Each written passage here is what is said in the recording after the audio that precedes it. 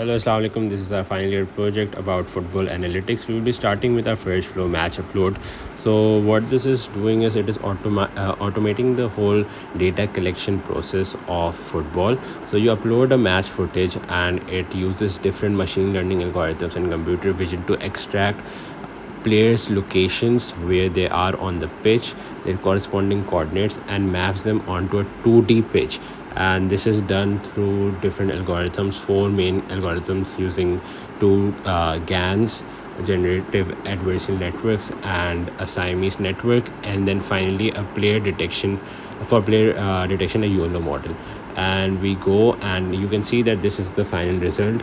On the left hand side you can see the annotated uh, video and on the right you can see the actual 2d pitch that is made for this left uh, inputted video. So you input a normal video and it annotates the match footage like this. So you can see the players being detected by the player boxes and you can see the field lines being made that is actually used to create a corresponding 2d pitch. Next we uh, view insights and we have used different algorithms to record passes completed passes incompleted. These are very um, important metrics that are used by big company like StatsBomb and um, and they provide all of this on huge subscription basis uh, of six figures annually. And we are providing the same level of accuracy by using our simple final year project